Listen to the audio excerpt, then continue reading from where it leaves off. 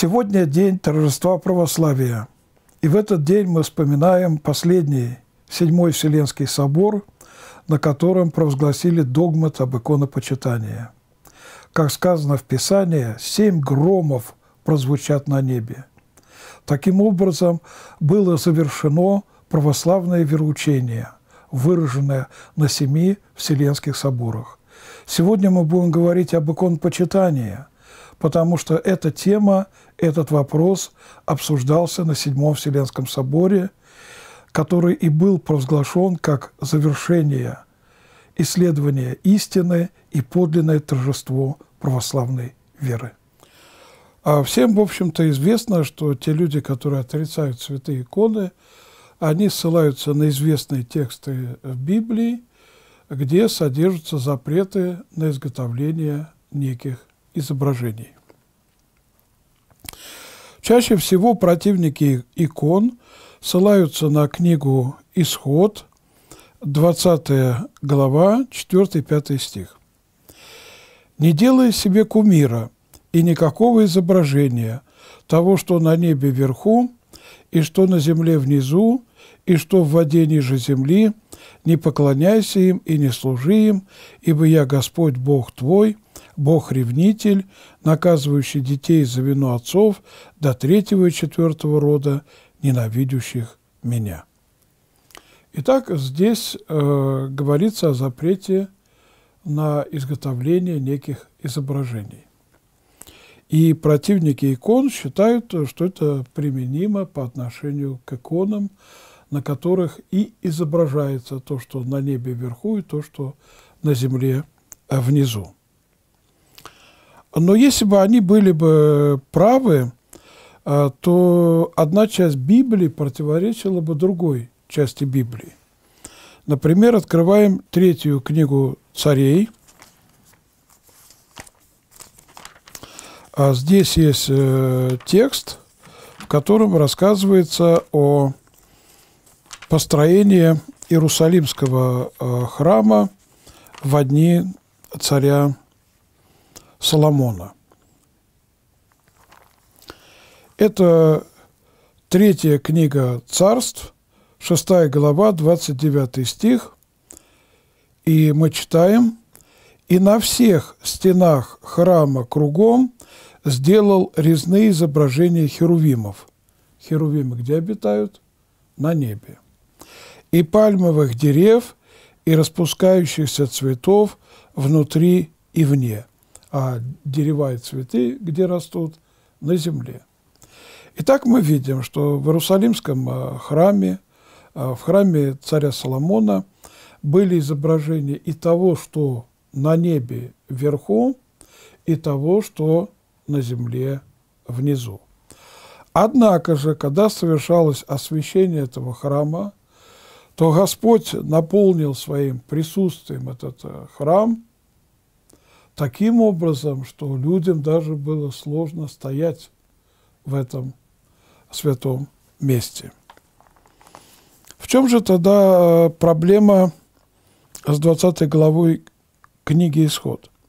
Заповедь о кумирах надо читать не с 4, а с 3 стиха 20 главы, где сказано «Да не будет у тебя других богов пред лицем моим», а далее говорится о том, что нельзя делать изображение этих богов.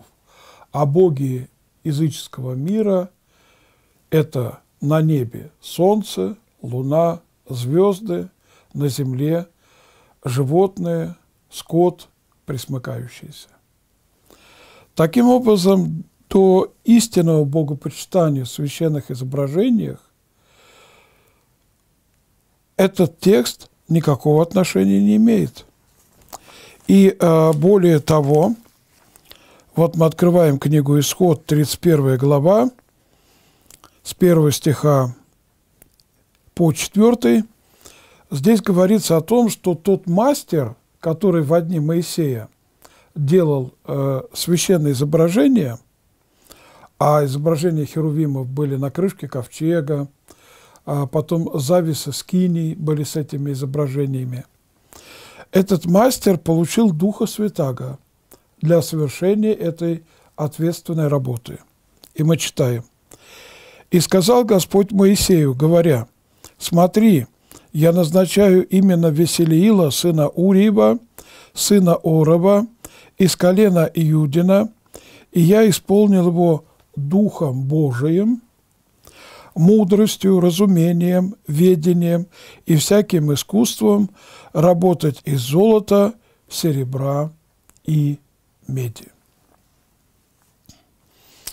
И надо прямо сказать, что в Священном Писании мы находим целую россыпь текстов, где говорится о священных изображениях, которые делались в том числе по прямому, по прямому божественному указанию. Таким образом, а, отвечая на вопрос, можно ли иметь изображение того, что на небе вверху, и того, что на земле внизу, мы с помощью Библии отвечаем, да, можно, и такие изображения были, и это не противоречило заповеди о кумирах или иных богах. Но здесь противники икон скажут нам, да, изображения были, но им никто не поклонялся. Это два разных вопроса. На первый вопрос, можно ли иметь изображение того, что на ней вверху, и того, что на земле внизу, мы уже ответили. Теперь мы переходим ко второму вопросу. А можно ли было почитательно а, поклоняться этим изображениям? Для этого мы открываем с вами третью э, главу э, книги «Исход», читаем с первого стиха по пятый, пятый стих ключевой. «Моисей пас овец у Иофора, тестя своего, священника Мадиамского. Однажды провел он стадо далеко в пустыню и пришел к горе Божией Хариву. И явился ему ангел Господень в пламени огня из среды тернового куста, и увидел он, что терновый куст горит огнем, но куст не сгорает. Моисей сказал, «Пойду и посмотрю на сие великое явление, от чего куст не сгорает». Господь увидел, что он идет смотреть, и возвал к нему Бог из среды куста и сказал, «Моисей, Моисей». Он сказал, «Вот я». Внимание, пятый стих. И сказал Бог, не подходи сюда, сними обувь твою с ног твоих, ибо место, на котором ты стоишь, есть земля святая. Возникает вопрос, а почему земля стала э, святой? Что, разве изменился ее э, химический э, состав – что можно ответить на этот вопрос? Обычно, когда я задаю этот э, вопрос неопротестантам, они отвечают так. Там присутствовал Господь, поэтому земля была святая. В этот момент я смотрю на их лакированные ботинки и говорю, разувайтесь, Бог вездесущий. И вдогоночку цитирую им 138 псалом 7 стиха и ниже. «Куда пойду от духа твоего и от лица твоего, куда убегу? Зайду ли на небо, ты там? Сойду ли в преисподнюю, и там ты? Возьму ли крылья зари и переселюсь на край моря, и там рука твоя поведет меня и удержит меня десница твоя». Бог вездесущий. Тогда возникает э, пауза, и я опять спрашиваю этих людей, почему Земля стала святой. Ответ очевиден. Когда Господь видимым образом, явным образом проявляет свое присутствие через посредство материи, происходит освещение самой этой материи. Например, храм был таким знаковым освященным местом, и псалмопевец Давид, пятый псалом, восьмой стих, пишет, «А я по множеству милостей Твоей войду в дом Твой, поклонюсь святому храму Твоему». Таким же знаковым местом был Иерусалим. И в книге пророка Даниила мы читаем, что когда Даниил молился, он открывал, открывал окна на святой город Иерусалим, где, кстати, в то время храм был в разрушенном состоянии, и молился, совершал поклонение именно в этом направлении. А святым может быть не только храм, не только святой город, не только э, вот эта гора, Хариф, на которой Господь беседовал с Моисеем, а святыми могут быть даже вещи, э, которые носили э, святые люди. И мы читаем об этом в книге «Деяний святых апостолов», 19 глава, 11-12 стих. Здесь сказано – Бог же творил немало чудес руками Павла, так что на больных возлагали платки и опоясание с тела его, и у них прекращались болезни, и злые духи выходили из них. Здесь мы видим, что платки, опоясание с тела апостола Павла, они источали благодать. Причем в Библии рассказывается и о том, как мощи пророка Божия Елисея воскресили мертвого человека. Это четвертая книга Царств, 13 глава, 21 стих, и мы читаем.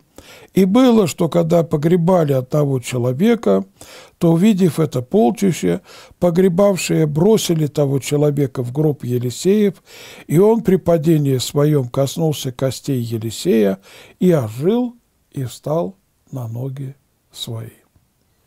Как мы видим, здесь многоразлично и э, многообразно действие благодати, э, в том числе через э, посредство материальных объектов, через освященные платки, мощи угодников Божьих, даже тень апостолов, если исцеляла, как мы об этом читаем в книге «Деяния святых апостолов», это как раз чудо проявления благодати Божией через святых людей – и через то, с чем они соприкасались.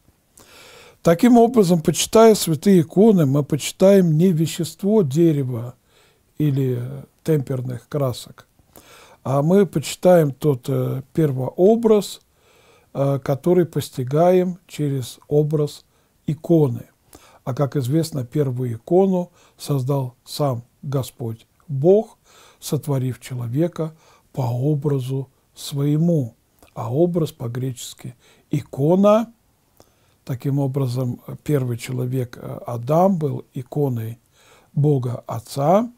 А, кстати, Христос Иисус, Сын Божий, являлся образом, иконой Отца Небесного. Когда ученики однажды попросили его «покажи нам Отца, и нам довольно», Христос ответил «Сколько я с вами, и вы не видите, видевший меня – видел и Отца. И каждый христианин – это икона Христа, в свою очередь, как сказано, вы письмо Христова, всеми узнаваемое и всеми читаемое. Таким образом, мы видим, что мир вообще иконографичен, и наличие священных изображений ни в коей мере не противоречит библейскому откровению.